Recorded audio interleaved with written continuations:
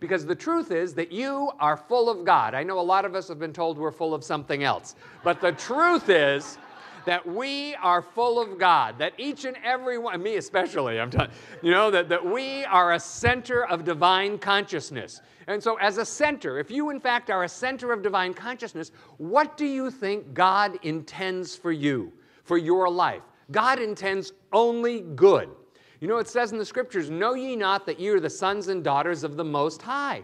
So, Ernest Holmes says the gift has already been given. God has already blessed us, but we act like it's not true. You know?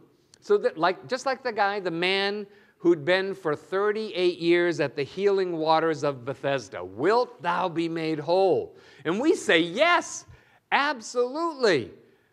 But if you said that to that guy 38 years ago, when will you be made whole? Well, in about 38 years. I need to sit here with my story you know, I got, and, and, you know, I'm certain that in those 38 years, he was not thinking in an uplifted, life affirming manner. You know, he was leaning over to the person next to him, like, How long you been here? 26 years?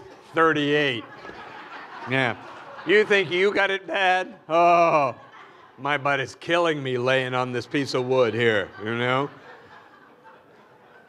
So, wilt thou be made whole? Yes, absolutely. Not in 38 years. When? Now. Right now. Anytime between now and right now is a really good time to be healed, to have a change in consciousness. And we have to be on board with that. You know, St. Paul said, in the twinkling of an eye.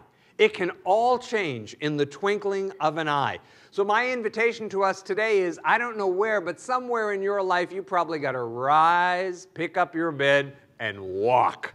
Right? Walk away from the old notion you have of yourself because that notion does not serve you. Walk away from some error belief.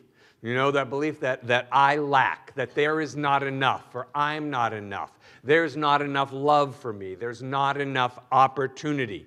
Walk away here, we'll make it very easy for you. Walk away from judgment and accusation and criticism of yourself and other people. No good will come from it. Hear this. If you hear nothing else, if you've been sleeping up until now, wake up for just this. I want you to know no good will come to you from judging and criticizing and accusing yourself or other people. You actually, it's like you deflect the blessings of God. You know, it's like you're saying to the universe, you know, universe, I'm getting so much value. I'm just getting so much value. This is so good. It's so juicy. You know, from the accusations I have against my brother, sister, boss, neighbor, whoever, that I will wait. I will postpone my good.